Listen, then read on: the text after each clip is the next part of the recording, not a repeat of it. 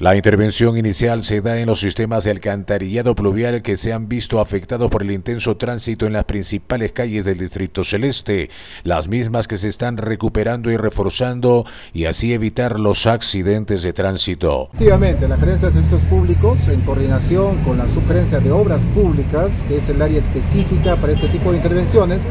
ya ha identificado, eh, no solamente en este punto, sino en cinco zonas más, donde necesita ya el cambio del concreto, sobre todo que se deteriora y permite que este, este tipo de infraestructuras, que son básicamente alcantarillas pluviales, se desuelden, se suelten y al final generan pues eh, un perjuicio en el tránsito vehicular, sobre todo en estas vías de alto tránsito que conducen diariamente gran cantidad de vehículos. Ahora, ¿este tema se está tratando por administración directa o es por contrato para garantizar específicamente la obra? ¿no? no, es como una sola intervención, una sola actividad, es una intervención directa. De, esta forma también garantizando de que el trabajo sea rápido y efectivo.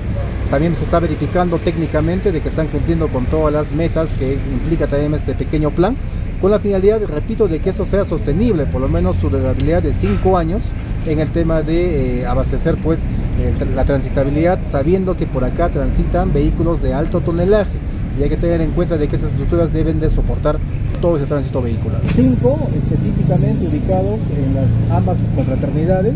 este y oeste. Las que son más graves. Las que están en una situación ya grave, a la vez también se ha recomendado a la gerencia municipal que se implemente nuevamente el área de mantenimiento de la subgerencia de obras públicas, porque es un área que justamente está dedicado a ese tipo de actividades, pero de manera permanente, ¿no? dando mantenimiento, refaccionamiento, con la finalidad de que no se deteriore de esta manera y tengamos que todavía cerrar el tránsito por varios días para rehabilitar eh, en esta parte el tránsito vehicular. Ahora, suponemos que GEDUR también.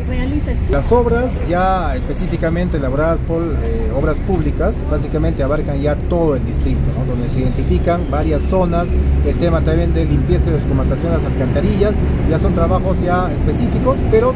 la unidad de mantenimiento ya debe instalarse en independencia con la finalidad de dar mantenimiento preventivo a este tipo de afectaciones y no esperar todavía que sufran este tipo de acontecimientos. Se anuncia que a partir del mes de junio se iniciará con una campaña agresiva de mantenimiento reparación de las vías calles y principales avenidas del distrito como parte del mejoramiento del ornato de la ciudad, además de buscar habilitar las calles de la zona urbana. Sí, en el mes de junio la Gerencia de Servicios Públicos va a ejecutar un plan